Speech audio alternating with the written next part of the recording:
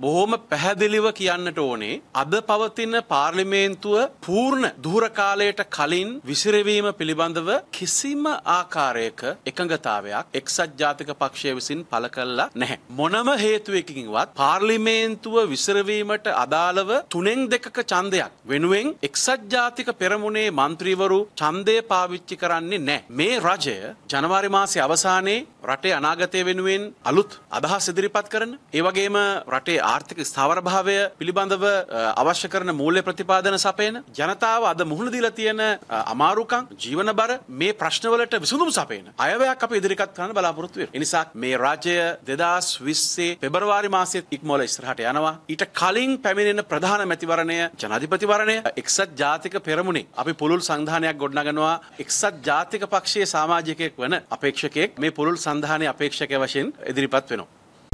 ප්‍රවෘත්ති රසවිදීමේ පළමු අත්දැකීමට www.itnnews.lk වෙතෙන්න.